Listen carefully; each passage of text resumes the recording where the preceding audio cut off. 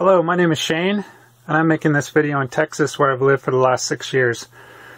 When I moved to Texas, I didn't have too many qualms about moving to Texas. I was uh, basically considered myself a Republican and had voted in the Republican uh, for election for as long as I've been able to vote. And why do I mention any of that background? Well, what led me to be a Republican was a number of reasons. One big one was that it was a party considered to be a party of family values. I grew up watching various things. One that stood out to me was the impeachment of Bill Clinton.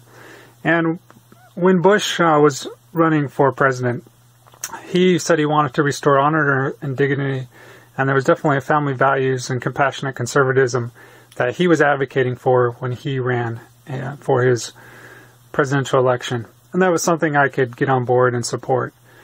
There's many values I believe that the Republican Party has abandoned in the name of defending and supporting Donald Trump. In 2016, I did not vote for him. I cannot support his values, his character. Uh, while there's some policy wins he may have won for conservatives, he can Donald Trump continues to abandon what the Republican Party used to stood for and some of the best traits that it used to embody. I believe in a party that was founded by Abraham Lincoln, but not in one that is solely tied to Trumpism. He does not have America's interest at, at heart. You can see this in a number of instances. Some of the recent stories you may have heard and may not have. I'm going to mention just a couple of them. So there's wildfires raging in Oregon and California and across the West. It has been reported uh, by Miles Taylor that in one of the meetings, Donald Trump said, stop sending money to California.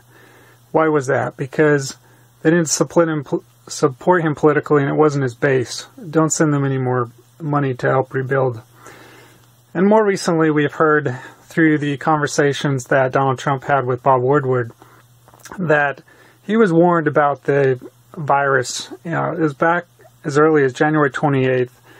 His um, director of national intelligence or some uh, someone along those lines, O'Brien last name, had said that this would be his biggest national security threat.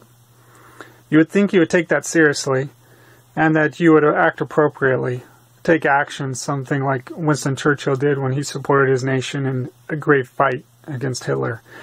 But instead, he continued to mislead us. February 7th, it was very clear in his conversation with Woodward that Donald Trump knew with certainty this was an airborne, deadly virus, 5% more deadly than the seasonal flu.